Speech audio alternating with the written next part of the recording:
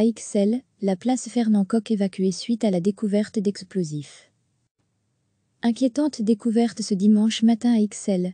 Une personne occupée a vidé une habitation suite au décès son occupant, y a trouvé plusieurs engins explosifs. Un obus et plusieurs grenades ont été apportés au commissariat de police de la place Fernand Coq. Par mesure de précaution, les abords du commissariat, dont la place Fernand-Coq et une partie de la rue du Collège, ont été fermés à la circulation et plusieurs habitations ont dû être évacuées en attendant l'arrivée du service de déminage. Inquiétante découverte ce dimanche matin à Ixelles. Une personne occupée a vidé une habitation suite au décès son occupant y a trouvé plusieurs engins explosifs. Un obus et plusieurs grenades ont été apportés au commissariat de police de la place Fernand-Coq.